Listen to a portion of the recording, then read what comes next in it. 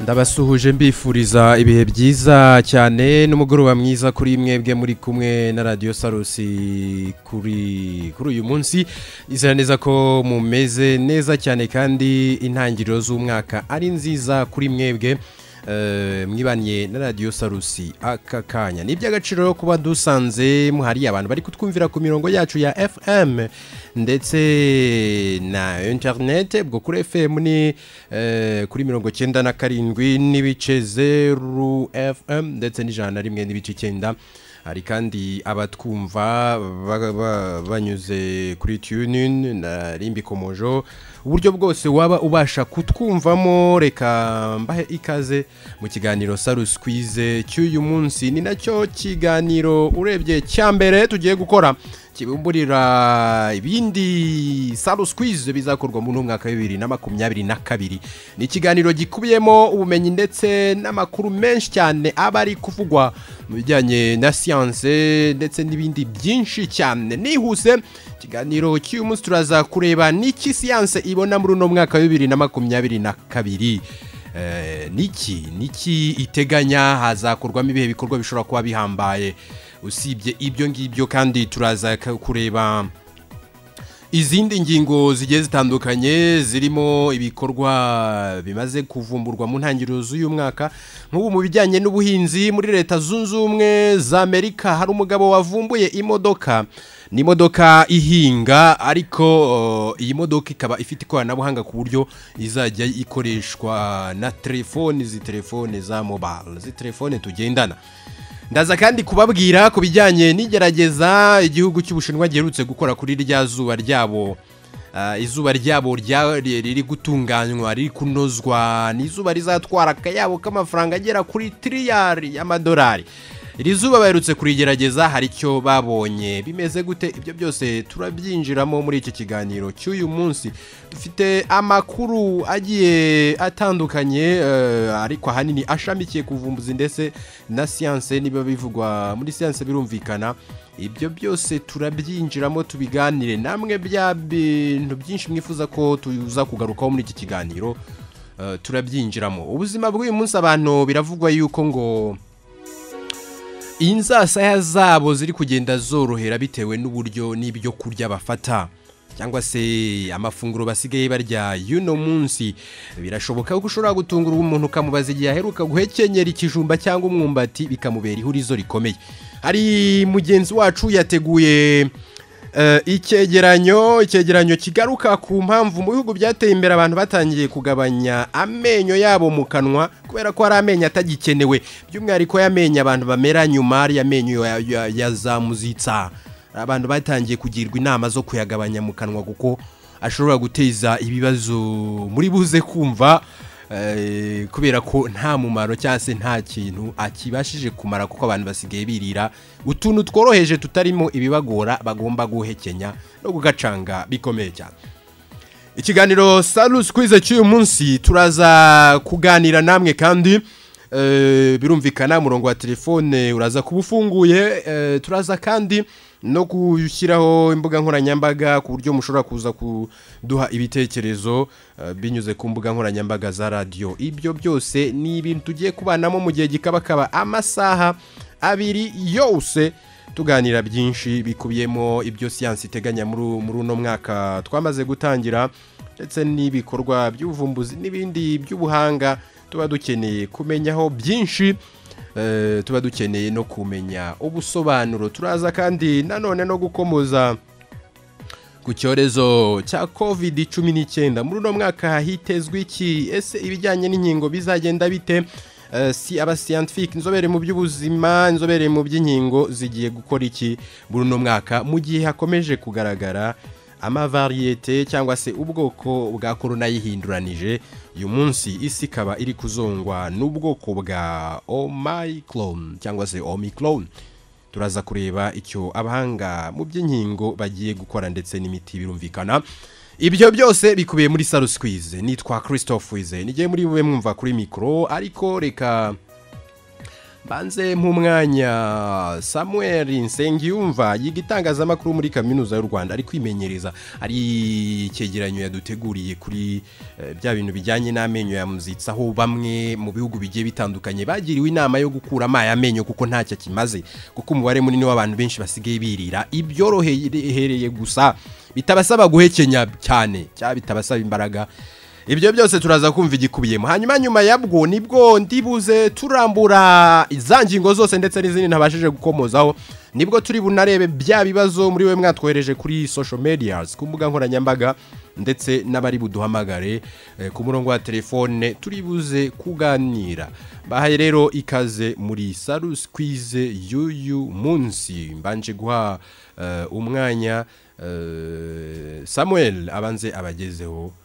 Byinshi yabateguriye. Tuze gukomezanya.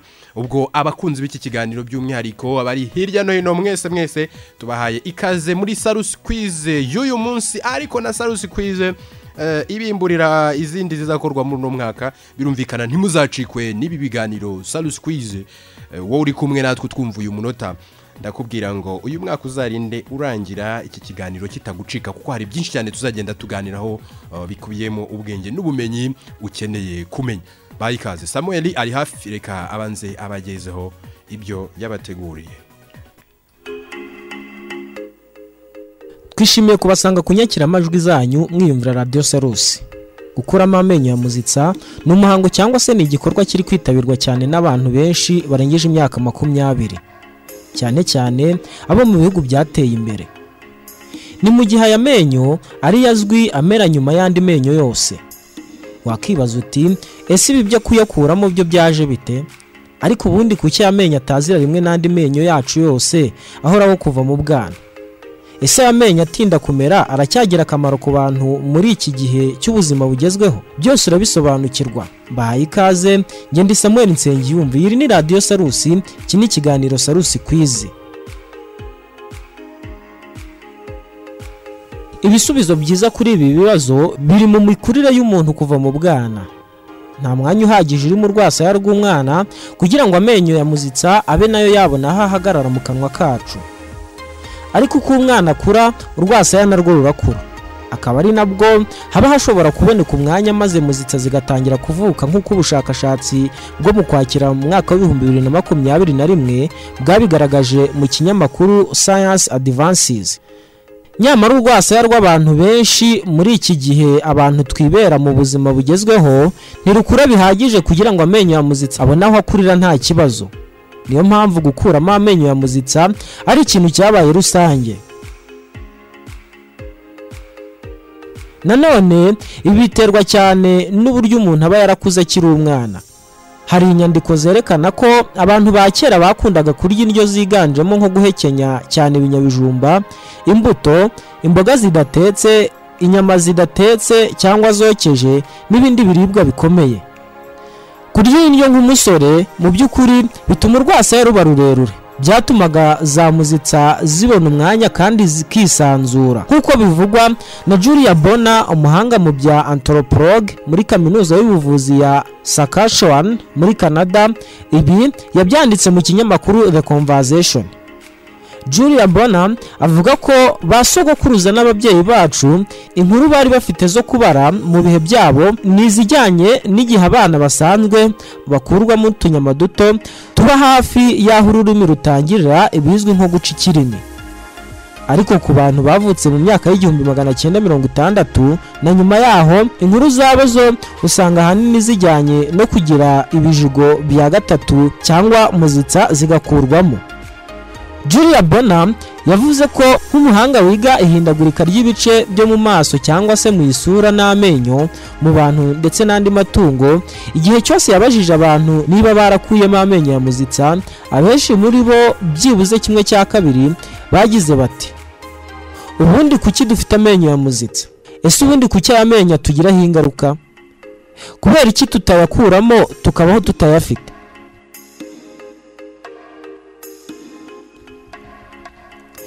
Abantu ni inyamaswa kimwe n'izindi nyamaswa z'inyamabere. Nk'inguge zifite amenyo ya muzitsa kimwe n'inkende. Kugira amenyo ya muzitsa ni kimwe mu bice bigize umurage w'ihinduka ry'inyamaswa ziri mu muryango umwe n'abantu. Urwasaya rwacu rwahindutse kugira ngo tugendane n'ibigezweho bigendanye n'indyo turi kurya.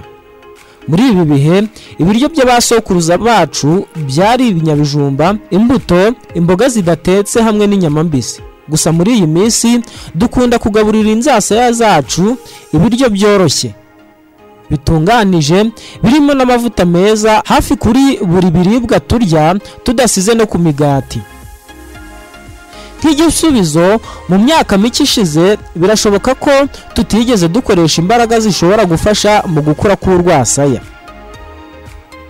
Ariko nk'uko abantu bo mu bihugu byateye imbere hamwe n'iterambere ry'inganda bahinduye ubuzima bahitamo kurya ibiryo byoroshye ibi byatumye ubu twarahagaritse gukoresha imbaraga zacu ari na zo zafashaga gukura k'urwasaya. Indi mpamvu ituma amenyo ya muzitsa amera nyuma y'andi menyo ni uko aba adakenewe kugeza igihe amera. Ese ibi bishoboka bite? Iyo abantu ba kera batangiraga gusazisha cyangwa kubura ibijugo byabo byabafashaga mu gukacanga ibiryo bikomeye za muzitsa zasimburaga ibyo bijigo zigafata umwanya wabyo zigakora akazi k'ibyo bijigo steven keferman umuganga w'umuhanga mu kubaga ibijyanye n'amenyo no kuvura indwara zo mu kanwa mu ivuriro rya Cedars Sinai i Los Angeles yavuze ko aya menyo yari nk'umugereka wagenewe kwifashishwa ku muntu ushobora kuba yarabuze irindi ryinyo mu kigero runaka cy'imyaka. Ariko kubera ko abantu benshi batagitakaza ibijigo byabo bakiri bato niyo mpamvu amenyo ya muzitsa ategereza kugeza umuntu akuze. Mu yandi magambo niba waratakaje ibijigo cyangwa bakabikuramo ukiri muto amenyo yawe ya muzitsa ahita yitegura kumera kugira ngo yuzuze icyuho cyatewe no kubura ibijigo igice cya mbere cy'ibijigo bihoraho cyangwa amenyo y'inyuma mu kanwa yagenewe gusya ibiryo abanza kuza hafi y'imyaka itandatu. Mu gihe umwana atangiye gutakaza amenyo yo mu bwana. Keferman yabwiye ikinyamakuru live science ko hafi y'imyaka cumi n'ibiri ibijigo bya kabiri ari bwo bimera. Ibi na byo bikaza bisimbura bimwe biba byarameze ku myaka itandatu mu gihe umwana akuze. Icyiciro cya gatatu cy'amenyo yagenewe gusya cyangwa gukacanga ibiryo ni amenyo ya muzitsa. Aya yo aza hafi y'imyaka cumi n'irindwi kugeza ku myaka makumyabiri n'umwe. Muri iki gihe abahanga mu by'ubuvuzi bw'amenyo bakuramo amenyo ya muzitsa kuko bigendanye n'ibi bihe bigezweho n'inzasaya zoroshye cyane kuri bo bavuga ko bishobora gutera ububabare mu kanwa kubera ko amenyo yuzuye cyane amwe nta n'umumaro afite mbese adakenewe cyane. Muri iki gihe abaganga b'amenyo bakuramo amenyo ya muzitsa kuko bigaragara ko bishobora gutera ububabare mu kanwa kubera kubyigana kw'amenyo cyane. Nubwo umuntu yaba adafite ububabare gukuramo amenyo ya muzitsa akuze bishobora gukumira ibibazo by'ubuzima nk'indwara ziterwa no kuba amenyo nta bwisanzure afite mu kanwa bikaba byanagorana kuyakorera isuku. Abantu benshi bafite amenyo mirongo itatu n'abiri. Harimo amenyo ane ya muzitsa. Ariko bamwe bafite arengaho cyangwa make kuri aya mirongo itatu n'abiri. Gusa hari abantu bamwe bashobora kubura amenyo ya muzitsa burundu. Abandi bashobora kugira umwanya w'ibijigo bya kane bita paramora. Inyuma ya buri menyo ya muzitsa. Kuri ubu nta mwanya uhagije wa paramora mu kanwa k'abantu b'iki gihe ari na yo mpamvu bamwe batangiye gukuramo amenyo ya muzitsa. Ntabwo ari buri wese ukuramo amenyo ya muzitsa.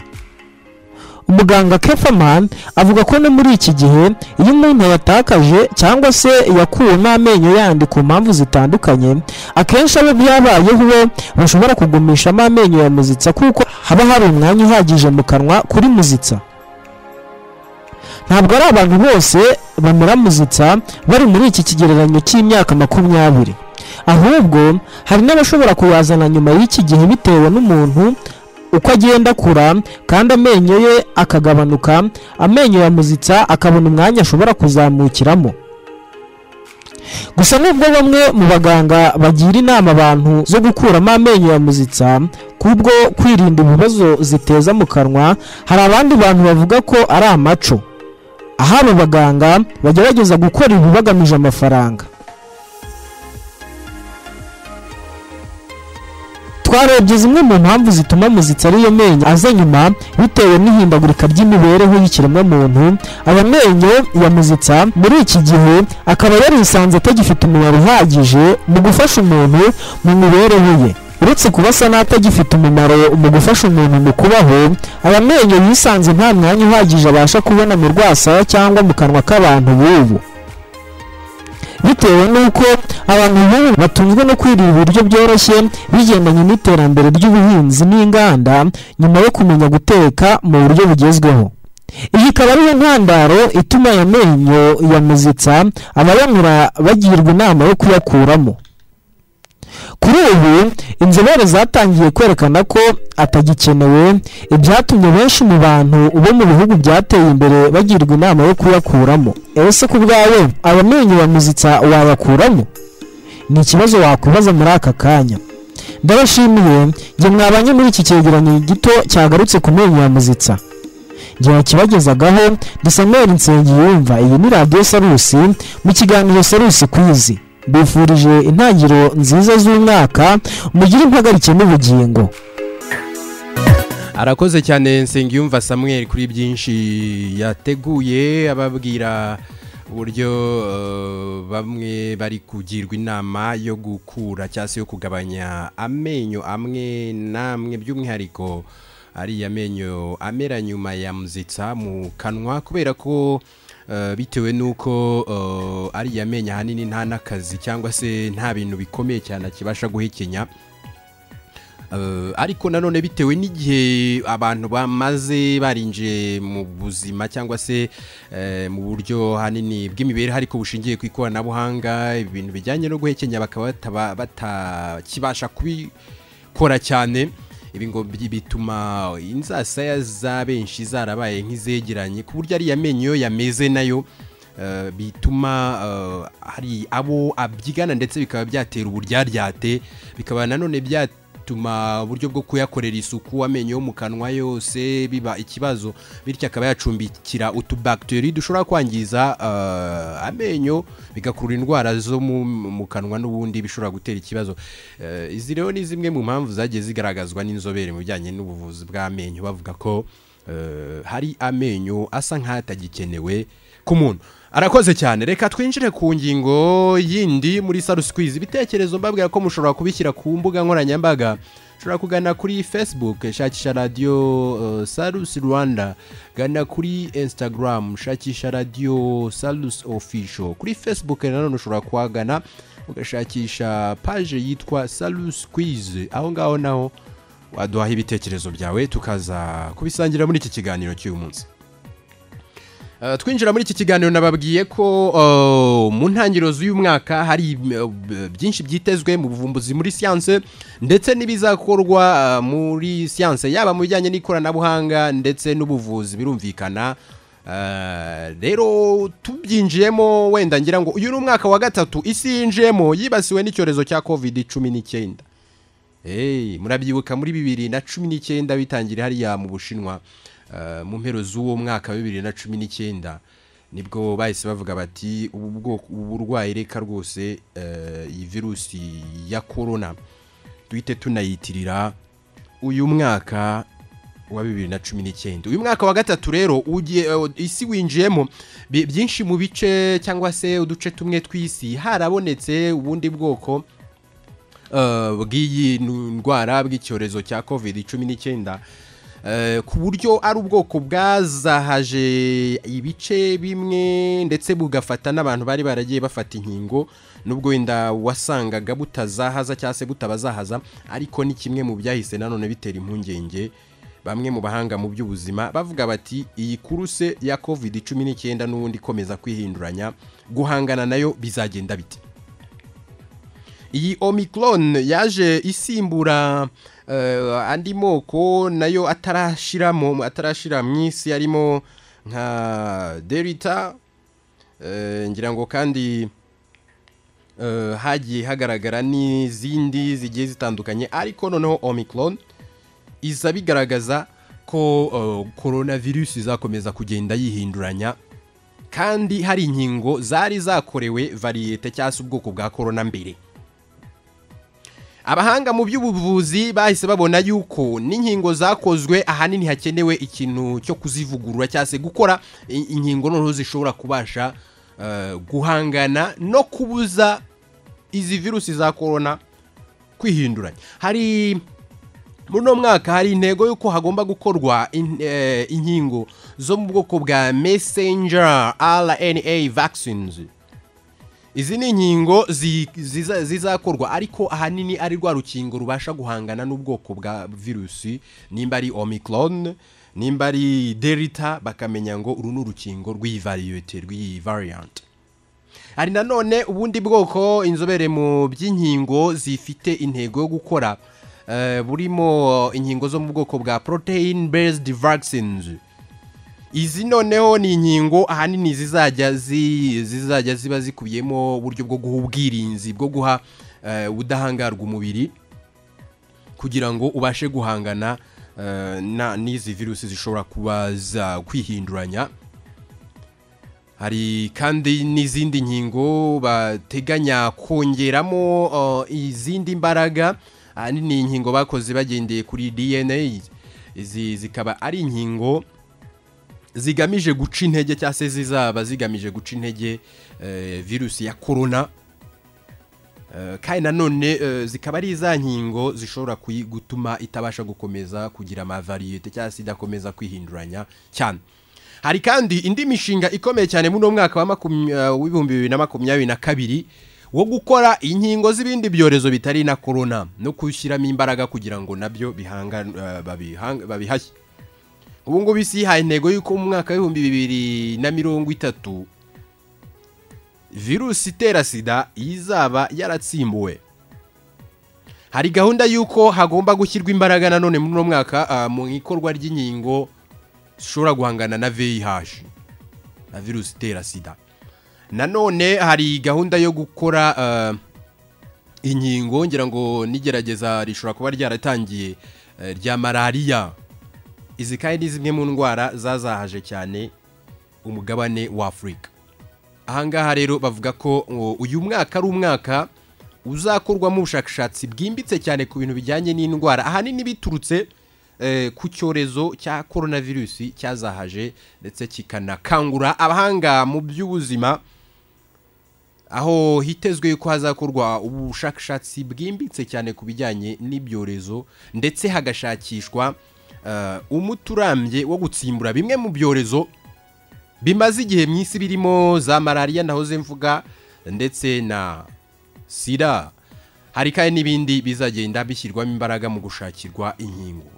Usibye ahangaha mu bijyanye n'ubuvuzi rero hari n'indi mishinga nahoze mbona eh, abashakashatsi bicaye barimo bashakisha bavuga bati ibi bintu tugomba kureba uburyo tubishyiramo imbaraga duse nk'abasimbuka gato tuve muri ibyo by'ubuzima eh, tunyarukire noneho mu bindi bijyanye na tekinoloji cyangwa se eh, n'ubundi buhanga bugiye butandukanye. Ahangaha eh, winjiye nko mu bijyanye na siyanse biravugwa ko ibigo bitandukanye birimo nka naza bifite imishinga ikomeye cyane nk'ubu ngubu bafite gahunda yo kuzafungura. Kiriya kigo ni ikigo cya international space stations. Ni sitasiyo ngira ngo twigeze no kubikomozaho mu myaka yashize muri iki kiganiro. Ihuriwemo n'ibihugu bikomeye cyane ku isi birimo uh, Burusiya leta zunze ubumwe za amerika canada n'ibindi. Aha rero muri ino sitasiyo iri mu kirere naza ifite umushinga wo kuzatangizayo ubukerarugendo. Ngira ngo ubundi kiriya kigo hajyaga hoherezwayo abahanga bagiye gu- gushyirayo amapano kuvugurura yashaje kugira ngo gikomeze kirerembe. Ni sitasiyo ifatiye runini isi kuko eh, ni imwe muri stations zibafasha ku gukora ubushakashatsi gukora n'ibindi byinshi cyane gusuzuma biri hanze y'isi n'ibindi birimo amastroide n'ibindi. Aha rero bavuze yuko nanone ari undi mushinga mushya bagomba gushyiramo imbaraga. Noneho abantu bifitiye ifaranga bakaba bazajya bajya gutembera muri international space station bakirebera eh, iyo nzu ireremba mu kirere reka mbivuge muri ubwo buryo yakozwe n'abatuye isi igamije kureberera isi. Ubukerarugendo rero uyu mushinga biteganijwe yuko naza izawufungura ku mugaragaro muri uyu mwaka. Hari kandi undi mushinga uhari wo kuzajyana umugore wa mbere ku, eh, kwezi. Ariko uyu mushinga batangaje ko uzashyirwa mu bikorwa neza mu mwaka w'ibihumbi bibiri. Na makumyabiri na kane ariko ukaba ugiye gushyirwamo imbaraga guhera muri uno mwaka wa bibiri eh, na makumyabiri na kabiri. Hari byinshi ba- ba- bagiye batangaza hari imishinga ikomeye cyane.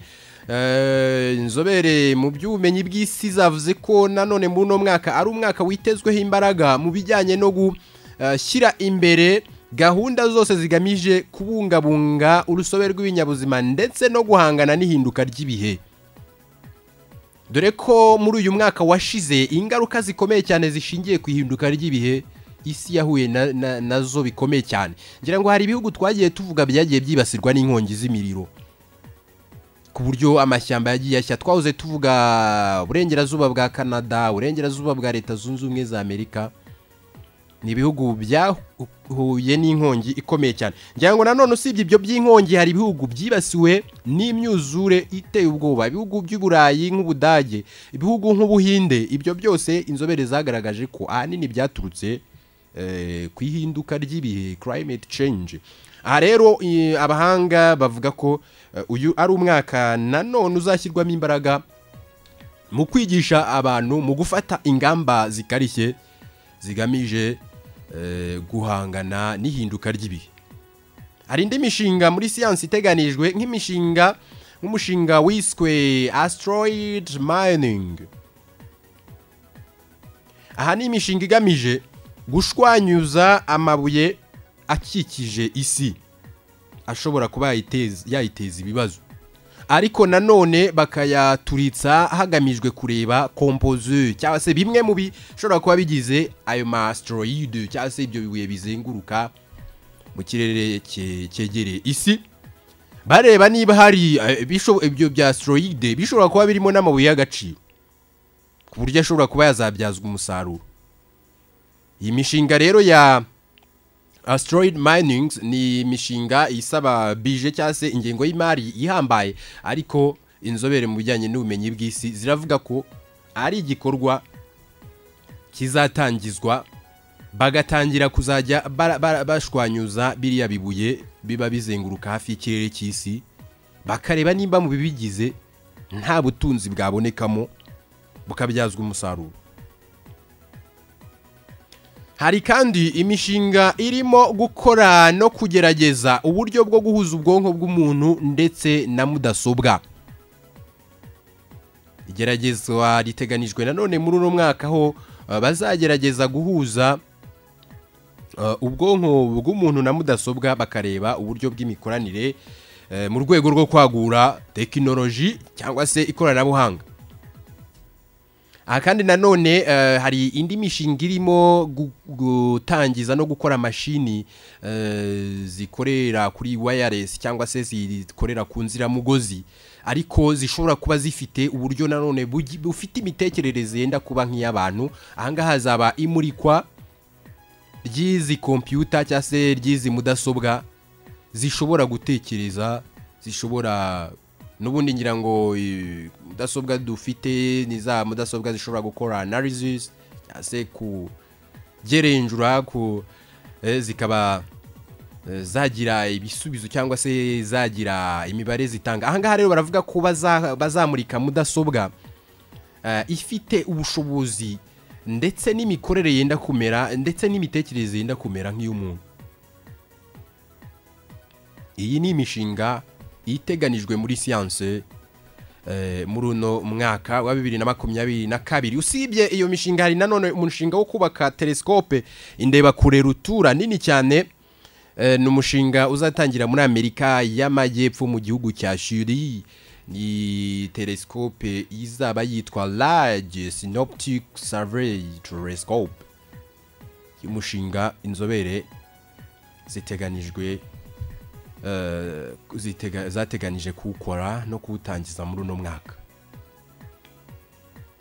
Aha kandi mu bijyanye n'ibiribwa hari eh, ubushakashatsi buzagenda bukorwa mu rwego rwo kongera ibiryo cyangwa se kongera ibiribwa no kwagura uburyo bwo kubika ibiribwa. Nk'ubu muri leta zunze ubumwe za amerika ikigo cya gisirikare gishinzwe ubushakashatsi bw'ibi- bw'ibiryo bavuze ko muri uyu mwaka bashobora kuza eh, gerageza gukora pizza ishobora kumara imyaka itatu itarangirika. Eh, ibi byose ni ibiteganijwe muri uno mwaka wa bibiri na makumyabiri na kabiri. Eh, usibye ibi ngibi ngira ngo abahanga mu bya siyanse eh, bavuga ko eh, urebye ahanini ubushakashatsi buzakorwa ari ubushakasha- ubushakashatsi bushingiye ku ikoranabuhanga ndetse n'imibereho. Ngira ngo hari n'ibindi byinshi cyane ndabona urutonde ni rurerure. Ariko ahanini byose ni ibishingiye kuri research ifatiye ku buzima eh, ndetse n'imibereho y'abantu batuye isi. Ngira ngo nigeze kubabwira yuko hari umugabo w'umunyamerika wamaze gukora eh, imashini ihinga. Ariko iyi ngiyi akaba yayikoze mu rwego rwo kugira ngo harebwe uburyo umusaruro w'ibiribwa ku isi wakwi- wakwiyongera. Yavuze ko eh, ari mu rwego rwo guhangana n'ikibazo cy'ubwiyongere bw'abaturage ku isi ariko ibyo kurya bikagenda biba iyanga. Mashini yakoze ni mashini uyu mugabo yitwa john Dree john Dree. Yakoze tracteur cyangwa se zino mashini zihinga. Ishobora kuzajya yifashishwa n'abahinzi ariko umuhinzi akayigenzura akoresheje telefone ya smartphone. Izi za touch. Eh, akaba yicariye mashini akayishora mu murima mu muringoti hariya yibereye nko ku muginiyo. Akayihingisha cyangwa se akayisaruza. Yicariye. Ahangaha kandi ni imashini ifite ubuhanga eh, n'ubushobozi bwo kumva eh, ikindi kinyabuzima ishobora kuba igiye gusekura ikaba yahagarara cyangwa se igasubira inyuma. Ni imashini ifite ubuhanga bwa GPS ikaba ifite nanone ubwenge cyangwa ifite ubwenge bw'ubukorano artificial intelligence ku buryo ibasha kumenya nimba igiye eh, guhirima mu muringoti cyangwa se mu cyobo ikaba yakwitonda. Uri kuyigenzura akoresheje telefone ya smartphone akaba eh, yayishyira mu murongo. Uyu john Dree yavuze ko ahanini ibingibi yabikoze mu rwego kugira ngo arebe uburyo yashyira imbaraga mu bijyanye eh, n'ubuhinzi no mu rwego rwo kongera umusaruro. Ngira ngo mu byo yavuze yavuze ati mu myaka y'ibihumbi bibiri na mirongo itanu byitezwe yuko umubare w'abatuye isi ushobora kuzaba uri muri miliyoni muri miliyari icumi. Kandi kugira ngo abo miliyari icumi bazabashe kuba babasha kubona icyo kurya birasaba yuko hashakwa uburyo bwo kongera umusaruro w'ibikomoka ku buhinzi. Nibuze ukagezwa kuri mirongo itanu ku ijana w'ibyabonekaga uyu munsi kuko n'uyu munsi hari abantu benshi bafite ikibazo cyo kubura icyo kurya. Ahangaha rero yavuze ko eh, iyi mashini ari imashini nziza ishobora kuzajya ifasha abahinzi eh, guhinga ku ngano nini eh, ariko bitabavunnye urumva guhinga uri- kugenzura mashini iri iyo ngiyo mu mirima we wi- wifitiye telefone yawe n'ibintu bizoro gusa nubwo bimeze gutya impungenge zavukiye ku giciro cy'imashini nubwo yamuritse iza mbere ariko byitezwe yuko zizashyirwa ku isoko kugira ngo zitangire zifashe abahinzi.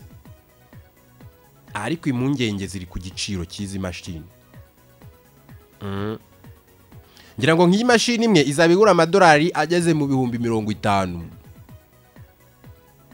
Izi ngizi ni amafaranga agera kuri miliyoni mirongo itanu z'amanyarwanda. Iyo mashini uzayigura. Gusa ariko biroroshye cyane kubera ko hari abari mu makoperative hari eh, n'abandi bagenda bishyira hamwe. Hari n'abandi kandi baba barakoze ubuhinzi nka bizinesi ku buryo eh, kandi hari nanone n'uburyo bworohereza abahinzi ku buryo ibi byose ari ibizagenda bishoboka cyane.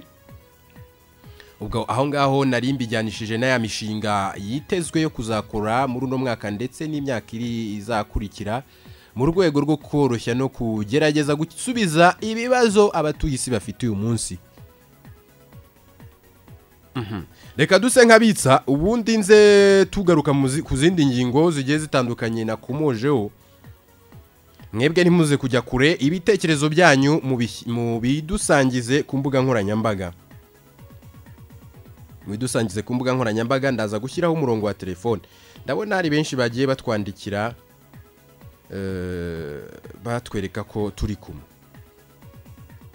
Mm, abakunzi b'iki kiganiro by'umwihariko eh, abakunzi eh, ba radiyo sarusi mwese mwese biba ari iby'agaciro ndi kubabona abantu barimo uwitwa kalusite biba byiza cyane aho ngaho ngororero abantu badukurikiye bari hariya nyamagabe ndabireba ah, inshuti zacu zo mu magaju mumeze neza. Mm. Nsabimana Theo nize neza ko meze neza cyane ndetse na timu aho ngaho mu magaju tekinike n'abakinnyi Eh.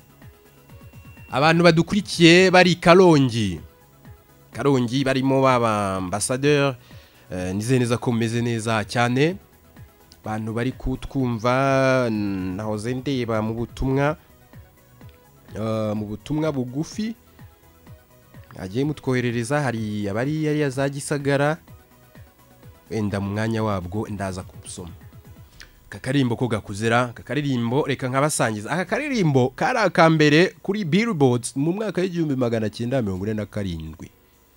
Ibihugu byinshi bya afurika byari bitarabona ubwigenge. Ni akaririmbo ka francis craig ni akaririmbo yakise niya yu hafi yawe. Ni aka kera nyine murumva uburyo kari bube gasona cyangwa se ka byuma byako bimeze ni aka kera cyane karimbo ko muri ne karindwi. Turi muri sarusi kwize ndacyari christophe wizeye mu mwanya muto nze dukomeza.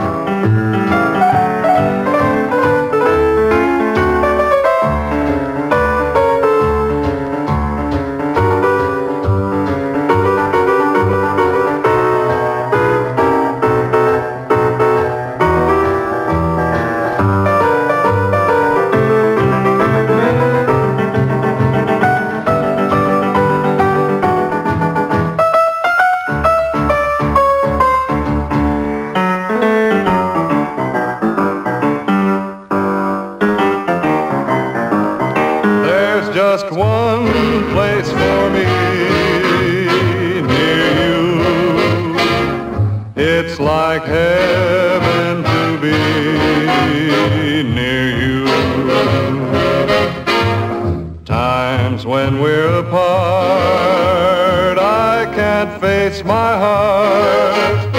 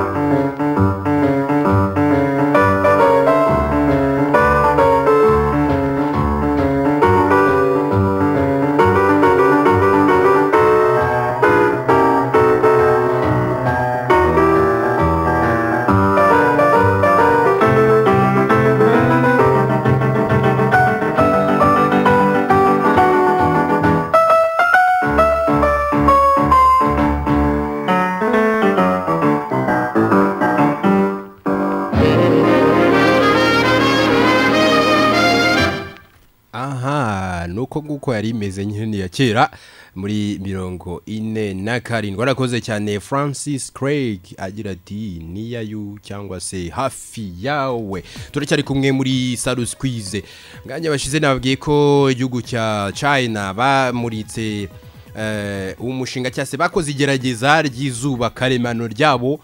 Ni izuba biteze yuko bazajya baryifashisha igihe izuba rya kamere rirenze.